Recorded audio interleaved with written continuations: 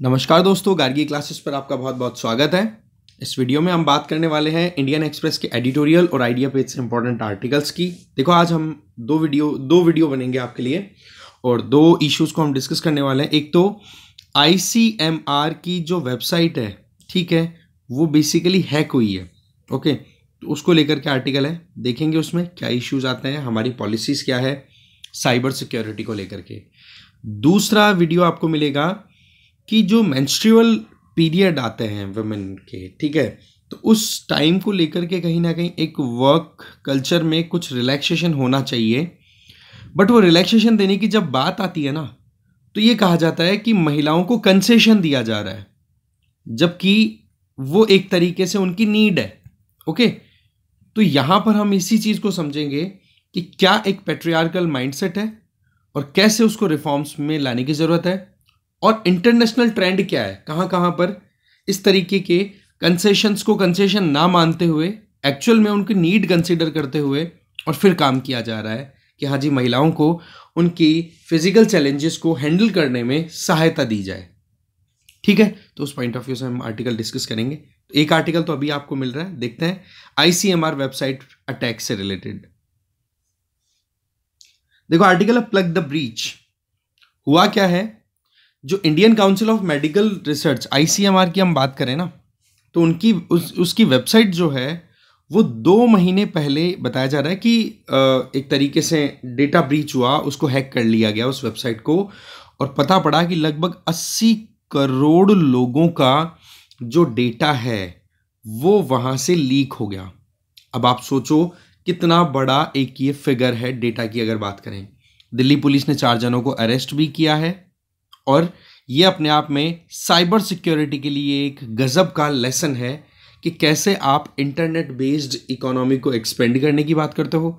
आप कहते हो कि डिजिटल सेगमेंट में हमें ज़्यादा से ज़्यादा काम करवाना चाहिए। उस परिस्थिति में अगर हम डेटा को सिक्योर नहीं कर पाएँगे तो ये चीज़ें बहुत ज़्यादा सवाल उठाती है कि हम किस तरफ़ बढ़ रहे हैं।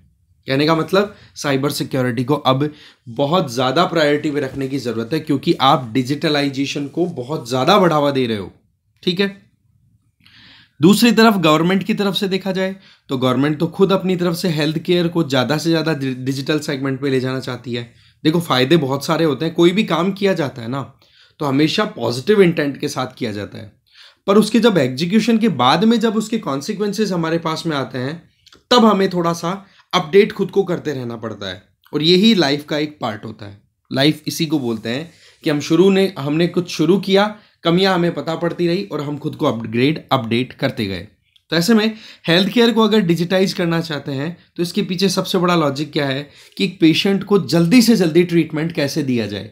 जैसे कि उसके संबंधित पूरा जो फ़िज़िकल या फिर हेल्थ रिलेटेड बैकग्राउंड अगर डिजिटल रिकॉर्डेड सेंट्रलाइज्ड डिपॉजिटरी में अवेलेबल होगा तो कोई भी सर्जन के पास में आप जाकर के कंसल्ट करोगे हेल्थ से रिलेटेड तो वहाँ पर केवल पेशेंट की आईडी आप डाल करके उस पेशेंट की पूरी हिस्ट्री एक्सेस कर पाओगे।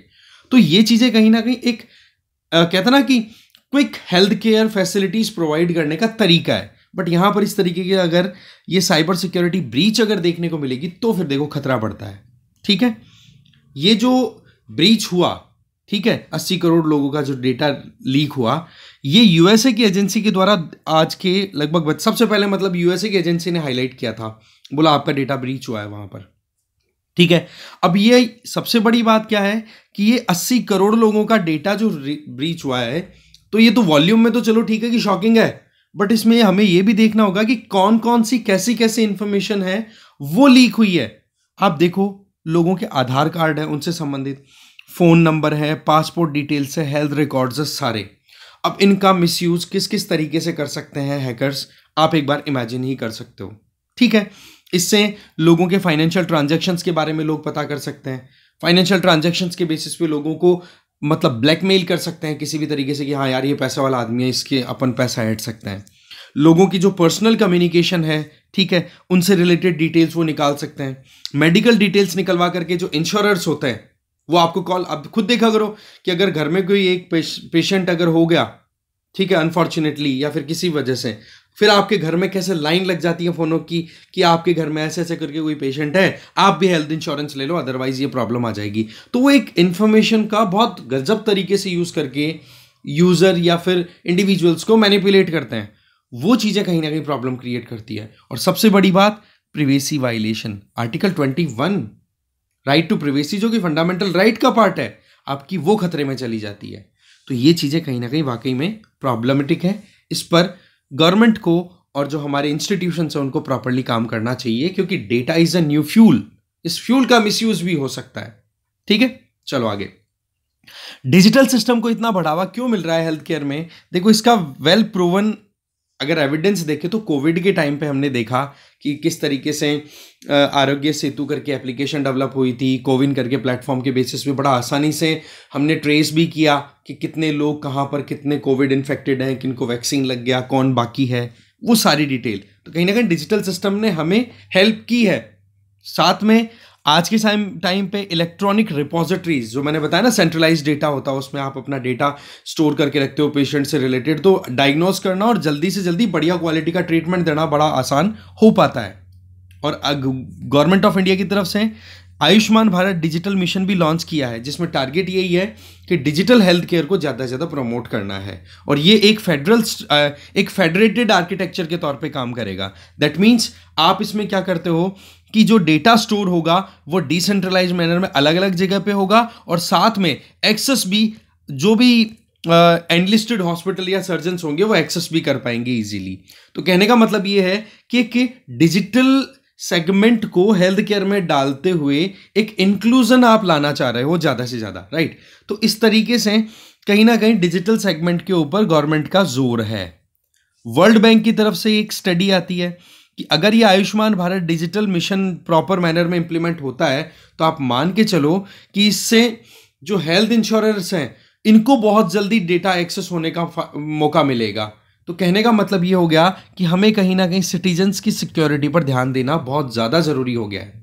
अभी रिसेंट टाइम में एम्स के सर्वर्स को हैक कर लिया गया था रैंसम अटैक हुआ था, जिसमें रैंसम का मतलब क्या हो गया?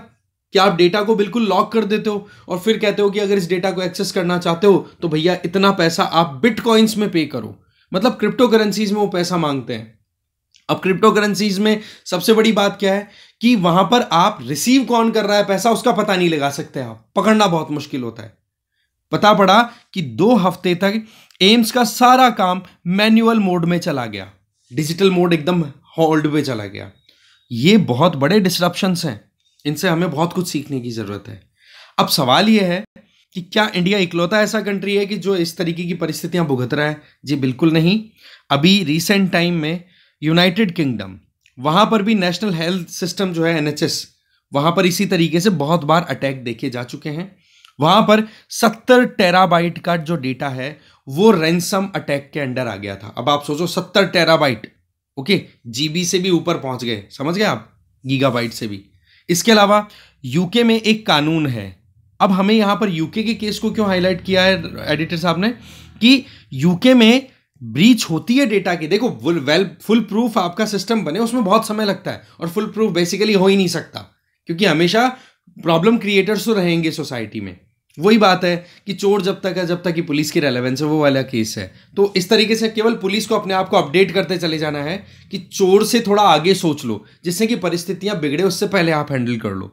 तो यूके में क्या है कि वहाँ पर यूके डेटा प्रोटेक्शन एक्ट है। उसमें यह है कि अगर कहीं पर भी कोई डेटा से रिलेटेड कॉम्प्रोमाइज होता है दैट मीन्स इस तरीके का डेटा लीक या ब्रीच होता है तो उससे रिलेटेड वो इन्फॉर्मेशन जो है, वो उन लोगों तक पहुंचेगी कि भाई आपका जो डेटा है, वो कहीं ना कहीं इस particular platform X Y Z से ब्रीच हुआ है, यहाँ पर हैकिंग हुई है या फिर कोई प्रॉब्लम आई है तो आप थोड़ा सा इस चीज़ को लेकर के अलर्ट रहें पैनिक ना हो। ठीक है? या फिर उस चीज़ को लेकर के बिल्कुल अलर्ट रहें कि कहीं आपके फाइनेंशियल ट्रांजेक्शन्स को ट्रैक कर रहा है या फिर आपके अकाउंट में किसी की नज़र चल रही है, कोई ट्रांजेक्शन हुए हैं अनऑथेंटिकेटेड तो वो चीज़ें कहीं ना कहीं आपको अलर्ट करने का काम कर देती है। सिमिलर मैनर में यूएसए की बात करें तो वहाँ पर the health insurance portability and accountability act इसमें यह है कि जो रेगुलेटेड एंटिटीज़ हैं, उनको जब कभी भी कोई ऐसी इंफॉर्मेशन या कोई ऐसा हिंट मिले कि कहीं पर डेटा रिलीज़ आई मीन कोई कहीं पर हैकिंग हुई है या कहीं पर डेटा ब्रीच हो रहा है तो उसको कहीं ना कहीं नोटिफाई करेंगे वो जल्दी से जल्दी। और जब नोटिफिकेशन लोगों के पास पहुँच जाएगा तो लोग एकदम से पैनिक नहीं करेंगे पहली चीज़ तो लोगों का मिसयूज नहीं हो पाएगा। दूसरी चीज़, उसके ऊपर फिर आप अपनी अकाउंटेबिलिटी भी तो फिक्स करोगे ना, जब वो चीज़ रिलीज़ हो गई तो कहीं ना कहीं जिन ऑफिशियल्स का वहाँ पर रोल था अगर वो लापरवाही शो कर रहे हैं तो कम से कम उनकी अकाउंटेबिलिटी तो आप सेटल कर पाओगे। तो इस तरीके से बोले यूएसए में और यूके में लॉज अवेलेबल है, जो कि पब्लिक ओरिएंटेड काम कर रहे हैं। पब्लिक के साथ में बायोलेटरल कॉन्वर्सेशन है राइट फिर बात की जाए इंडिया की, देखो हमारा डेटा प्रोटेक्शन एक्ट हमारे पास अवेलेबल है। बट उसका क्रिटिसिज्म क्या होता है कि इस तरीके की सेंसिटिविटीज के ऊपर इतना ध्यान नहीं दिया गया है। कहीं ना कहीं हेल्थ रिलेटेड इंफॉर्मेशन की सिक्योरिटी को इतना हल्के में लिया गया है जितना हल्के में यूके और यूएस में नहीं लिया गया है। कहने का मतलब हमें डेटा सिक्योरिटी के ऊपर काम करना होगा और ये एक अलार्मिंग बेल है जो कि अभी आईसीएमआर की वेबसाइट है कोई है उससे रिलेटेड समझे? तो बोले ये समय है पॉलिसी मेकर्स जगें और सही काम करें। ठीक है? तो देखो इस वीडियो में इतना ही था। एक वीडियो और दूँगा मैं अभी आपको, और फिर टाइम मिला तो और एक दो आर्टिकल्स हैं, वो हम और कवर कर लेंगे। ठीक है? Thank you very much